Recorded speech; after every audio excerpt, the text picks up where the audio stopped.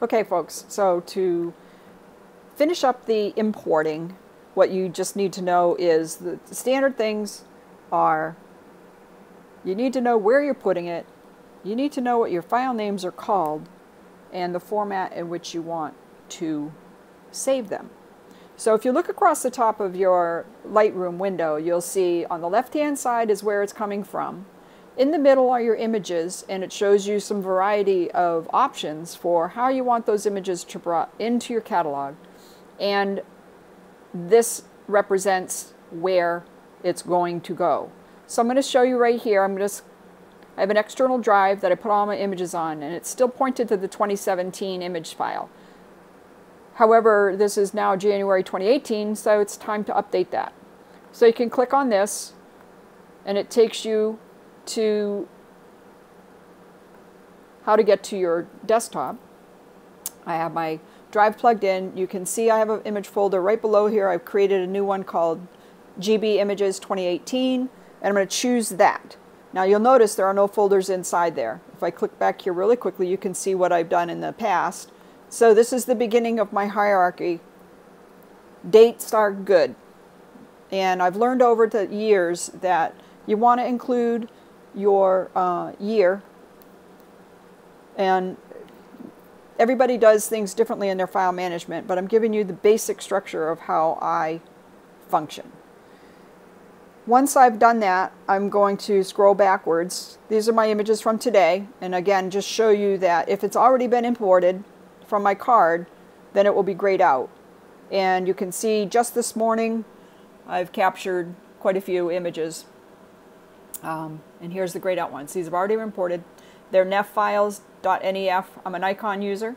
And um, the last thing I'm going to do is in this folder called GB Images 2018, I'm going to actually import them into their own folder and call them whatever it is I'm going to call them. GB is for Goodbrain. Uh, this is my first photo, Safari. So my keyword, photo Safari, I'm going to put snowshoeing.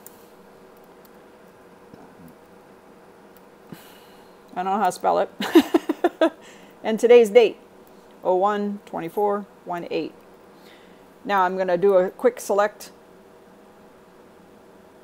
and copy because the other thing that I need to do is name these files. I'm going to back up because I made the folder first, but I want them to have the same uh, renaming.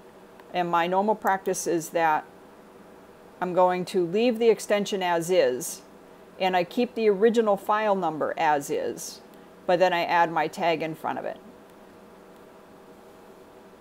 And then all I have to do, I don't do anything up here. I should back up a little bit. You got file handling options, things like that. This is the default, the way it came in. Um, it does make its own previews. Um, and that's pretty much it. I click import and then you you can watch it as you go. I can come back over here to the new folder that I made and I can actually begin to work on it as soon as I begin to see an image I can do some stuff and you'll notice the import taking place. So that's it for the moment. I'm doing this for free for you. Um, I hope that you get something of value out of my video. Um, I've got all kinds of social links. I'm going to put it along in the description of this video. Um, but if you'd like to join me at my Facebook page, I have a YouTube channel and so on and so forth. Look for me as goodbrain.com photo LLC or Crystal Nadeau. And I hope this was helpful to you. Thanks for watching. Ciao for now.